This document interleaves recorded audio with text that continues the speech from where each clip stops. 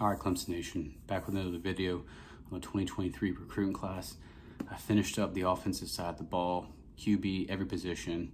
Definitely go check those out. Give them a thumbs up, comment.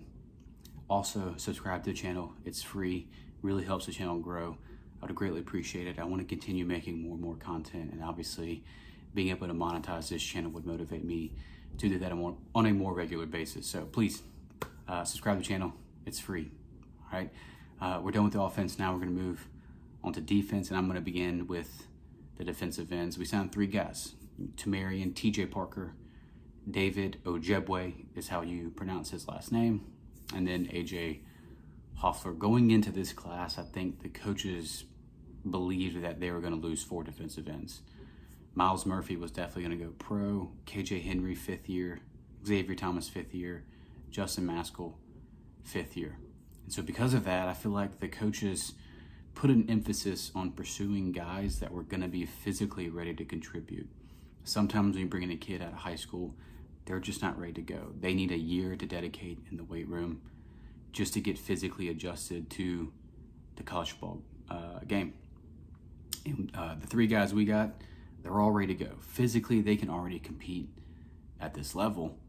And uh, all three we, we got, they're all physically gifted physically strong, powerful, athletic, fast, but we are returning XT and Mascoll. So these guys, they're almost exclusively going to be battling for that second team spot. We were going to be in a pretty uh, big problem heading in. If we had lost XT and Mascoll, we probably would have had to rely on all three of these guys to contribute. Fortunately, getting two of them back, there's going to be a battle for that, that second team spot. And honestly, depth at defensive end, it clearly took a big hit. There's no denying that the depth isn't going to be as good as it has been. I mean, we've had those four guys for the last three seasons, and now two of them are gone. You know, so if you look at the depth at defensive end, we returned fifth year guy Greg Williams, former linebacker out of high school, three star recruit. He's played sparingly. You know, is he going to be a guy that really turns on as a fifth year senior? I don't know. I, I mean, I can think of a guy like Kevin Dodd in the past that his fifth year, he went from pretty much uh, a non-factor to breaking out in his fifth year, ultimately becoming a second round draft pick and playing for a team that, that lost in the championship to Alabama. After that, we got third year guys, Cade Denhoff and Zaire Patterson. All of these third year recruits are a little bit different because their senior years, they missed COVID. They missed their senior years because of COVID. And so there's no telling how much time they missed in the weight room.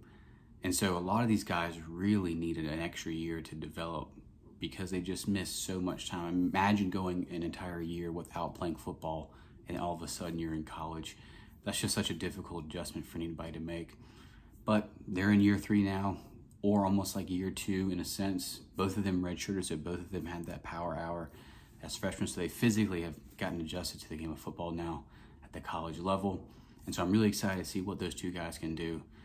Four stars, highly rated guys, highly recruited guys, Cade Denhoff, Zaire Patterson. These are the guys that we need to watch out for coming up in the spring. After them, second year guy, Jahiem Lawson.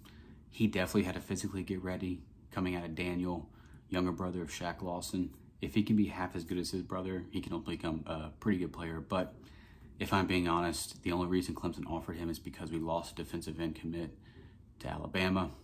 So I don't know. Um, all of these guys, Greg Williams played sparingly. I've seen Denhoff play in a couple of games in mop up duty. I believe Jahiem Lawson got in a couple snaps this year, again in mop up duty. I don't think I've seen Zaire Patterson have a single snap. So who knows what happens? Greg Williams, he's never flashed at me in the time that he's gotten. Denhoff, Patterson, the talent's there. They just got to put it all together. And Lawson, to me, I don't know if he'll ever be a guy that will really contribute at a high level for us. So that means, in my opinion, there's an opportunity for these three signees to see immediate playing time. And honestly, I wouldn't be surprised if they found their way into that too deep. They're incredibly talented. They have the physicality to do it. But for me, I'm hoping that Denhoff and Patterson for sure take that next step in their development. I really want those guys to be in that second group. And I'm really excited that we got XT back. I mean, this guy can have a massive year if he manages to stay healthy. I feel like he's been hurt for the last three seasons. When was the last time we've seen him fully healthy? The talent, unquestioned, has always been there. The elite edge rushing ability that he has, we haven't seen that really since Vic Beasley. I don't even remember the last time we had a guy get double digit sacks in a season. It might have been Vic Beasley or maybe even Shaq Lawson, I'm not sure. But XT can definitely be that guy. I'm looking for him in his sixth year. If he can really stay healthy, his body's at its peak, he should be a guy that can get double digit sacks for us. And then Mascoll coming back. You know, this was big for us, six year guy. He's never been a flashy player to me. He's never jumped off at me. I think he's just like an average starter at the collegiate level. But honestly, we really need that at this point. Six year guy, so, you know, how many mistakes is he going to make? Not many. Is he really going to have a double digit sack season? I doubt it. Is he going to make explosive plays for us? I don't think so. But he's a guy that we can definitely win with for sure. Um, after that, again, Denhoff, Zaire Patterson, those two guys, spring practice, that's who I'm really going to look at. I'm, I'm excited to see how they develop. I really want them to be in that second group. And also TJ Parker, who we're going to get ready to go into. He's already on campus, highly rated, high rated recruit, um, probably the highest rated defensive end we've gotten in a few years, at least since Myles Murphy. So those three guys, their development this spring is to be massive. Weight room, Lemanski Hall, and practice. He's got to get these guys ready because the depth behind almost no experience. And so out of all the positions on the team, you know, defensive ends honestly the one I'm worried most about. I love our two starters, but you know, after that, I don't know. XT Mascoll, they got to stay healthy. Losing one of these guys, I mean, it's scary. We're going to be relying on nothing but inexperience after them. And if this team wants to return to the playoffs, the health of Xavier Thomas is of the utmost important. But with that said, we're going to look at the tape. These three signees, we're going to see what they got. As always, we're going to start with the highest rated guy, TJ Parker out of Alabama, four star player, top 50 player, top 10 defensive lineman for his class. So we're looking at one of the highest rated, highest sought after defensive line prospects in the entire country. And what I love about TJ Parker is he is elite in both the pass and the run. You can see on that play, dips his shoulder, bends around the edge, explosive off the ball, beats the guy with speed, and he can really win both ways. So you have a lot of guys that really just rely on their speed to win. Then you have guys that rely just on their power to win. He can do both. He can win with speed and with power, and you can see that in the film. What I also love about him is this, setting the edge right here. So this is a guy that not only can be great in the passing game, but also great in the running game. Like I said, can beat you with power. We've seen him beat with speed. Now there was the power right there. Again, playing the run very, very well. Explosive athlete. Another explosive athlete down the line. Yeah, this kid can really, really play. To me, he's going to be a five edge rusher for us. Again, dips his shoulder, bends, gets around the edge this is high level stuff. Inside move. Again, defeating against the run. It's very rare to see guys that have the combination of the ability to be an elite edge rusher and also play against a run. He's clearly got that. That's obviously why, of our three defensive end commits, he's the highest rated of them. I really love what I see on tape. I know we came on late to get this kid, but man, am I glad we got him because to me, he can step in and play instantly for us. He's a guy that can really push that two deep. Again, just sits well in there, finishes the play. Another one, you can see that. Again, run fit, doesn't let the guy reach him, gets inside, makes the tackle. Another wins with power right there, just bull rushes the, the offensive tackle. Good use of his hands right there to get the offense lineman off of him.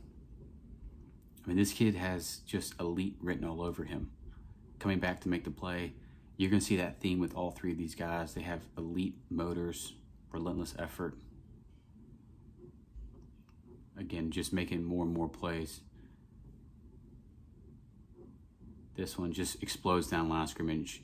Yeah, so you can see all that on tape. Kid is unbelievably athletic. You know, I believe he can be a, just an elite edge rusher, but also can play against a run at a high level. Think uh, Myles Murphy, honestly maybe a little bit more advanced as a pass rusher than Myles, Um, but he can he can do both. You know, Murphy was a guy that could rush the passer. Murphy was a guy uh, that could um, also uh, play the run very well. In fact, he honestly was great against the run. I don't even think he had a double digit sack season.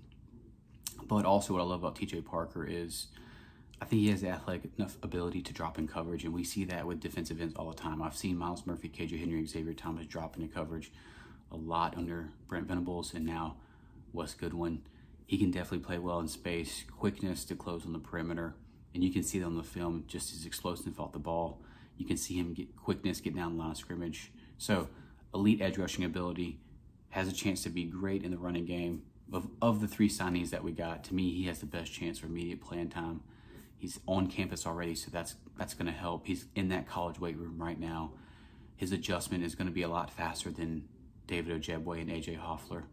You know, long term potential for this kid is definitely NFL. High draft pick, in my opinion. He could play his way into a first round draft pick.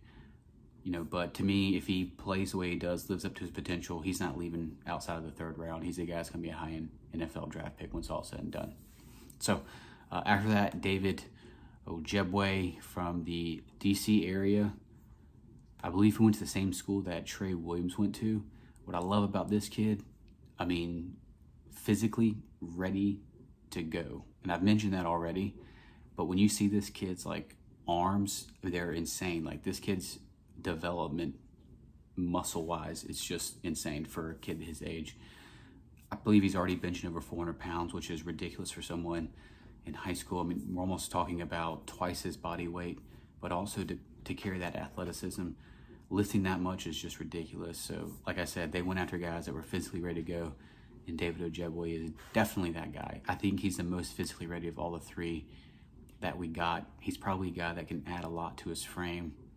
250, 260. Would love to see that. Strength number is going to be off the charts. Ridiculous athleticism. And so, for him, the physicality is there. I mean, you can see that uh, on that first play. For, for him, everything is going to be about technique. Good job pulling the defender, snapping the uh, offensive lineman down and getting around him.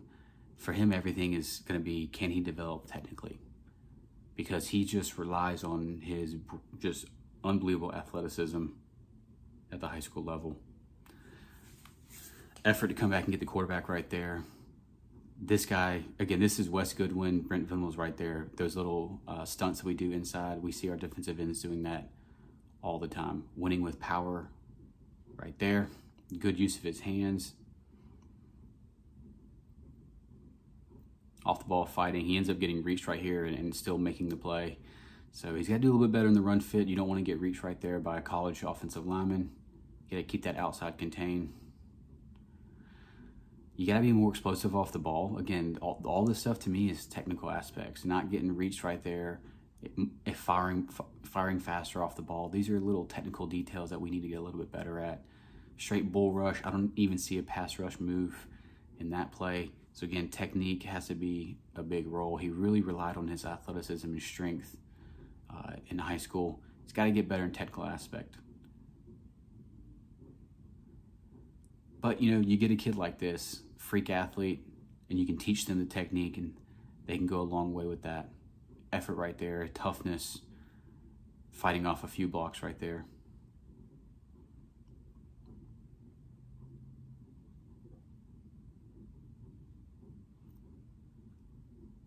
This is one of his better plays. He kind of slows up right there. He needs to really do a good job of finishing through plays. It's almost like he's a little timid a little timid off the ball right here, but when he's going, he's explosive, right? So for him, honestly, the physicality is there. He's a guy that can play the five. He can play the four, head up on the tackle. He can also play the four eye technique inside the tackle. He can do a lot of different things. He's diverse. He can play weak side, strong side, defensive end. And I think the coach is going to use him in a lot of different ways.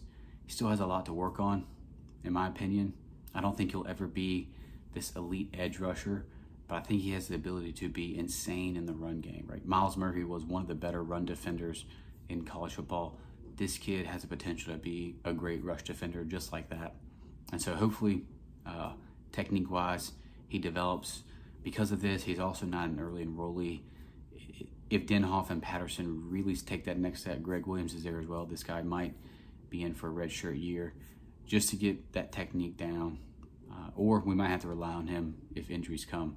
But you know, long-term potential for the NFL is definitely there. The size, athleticism, his strength numbers, again, off the charts. This kid has a bright future. Uh, once he works hard, and apparently all indications are that he's a grinder. He, he's, he's a kid that's very serious and goes to work. So, you know, they got a, a serious kid, physical kid, athletic kid, powerful kid. And uh, once he puts it all together, technique wise, he could be a great player. NFL future draft pick for sure. Uh, all of the tools are there.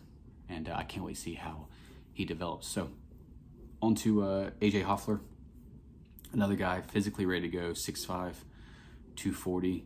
I love his tape.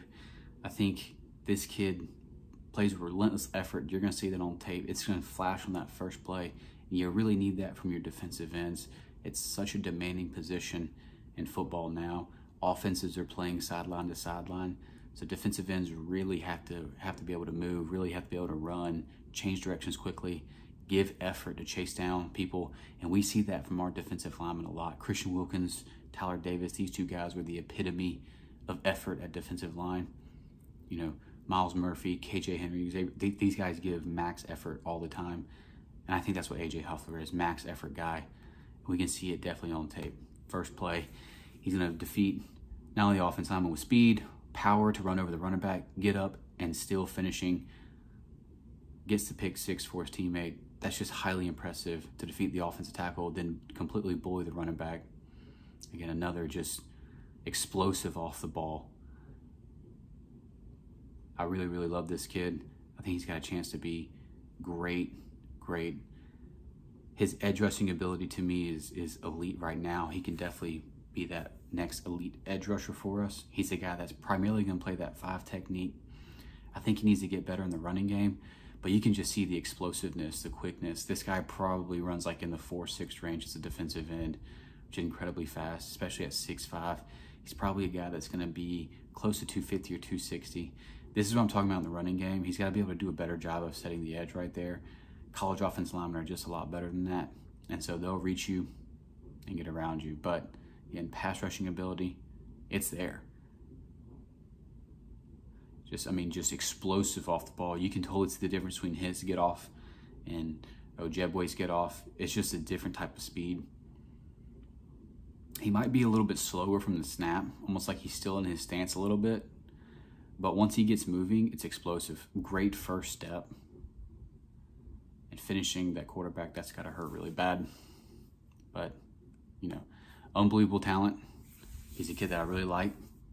Uh, can't wait to see what he does. That frame that he's got, tall, definitely adds some weight.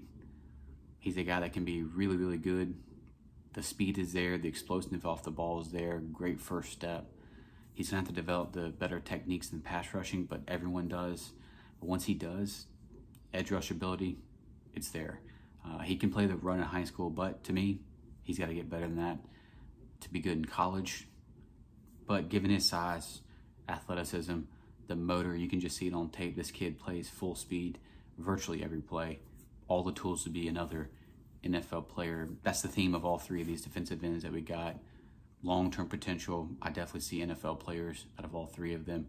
If they grind and they work hard and they stick with it, all three of them got a chance to be special. And so, love the three signings that we got. Lemanski Hall, great job in this class. And honestly, this was an important class for him because he was quietly struggling as a recruiter. I mean, CJ Spiller gets a lot of criticism right now as a recruiter. Tyler Grisham's getting a lot of criticism. Lemanski Hall is kind of going under the radar for that kind of criticism. If you look at the guys that he signed, I mean, Denhoff, Patterson, if neither one of those guys really have a big year, take that next step, I mean, it, it could be just simple enough to say that we missed on these guys, that they were maybe a little bit overrated. I mean, year three, highly rated recruit that they were, I don't know. Then to lose the defensive end commit to Alabama last year and end up with Jahiem Lawson, again, a low level three star recruit who knows? Hopefully, he can become a great player for us. But those, all three, those are his guys. And uh, neither one of them, none of them have played uh, any significant snaps yet. And we'll see what happens this year. So this class was really important for him.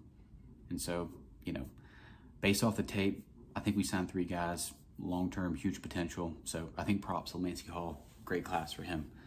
All right. Um, we'll see what happens with 2024. But 2023, really good class. Love the signees. And TJ Parker to me has more long-term uh, potential, more high-end potential. I believe he can play the, the he can be an elite edge rusher and also play the run very, very well. Ojiegbe, I think to me, probably has the most to work on, but physically he's the most ready to go. And AJ Hoffler, I think, elite edge rushing ability, definitely is going to have to get better in the running game. You know, he's almost the exact opposite of Ojiegbe. Ojiegbe is going to be great in the run, but has to work on his pass rush technique. You know, uh, but love all three of them. Again, big class for us. But this concludes this video. Next video is going to be on defensive tackles. I can't wait to make that one. The three guys that we signed at defensive tackle, all all monsters, especially Peter Woods, who I believe is just the best overall player in the 2023 class, in my opinion. Can't wait to make that video. Those three dudes, I'm telling you, just freaks of nature. So be on the lookout for that one. If you like this video, again, thumbs up, comment, and I'll see you on the next one. Go Tigers.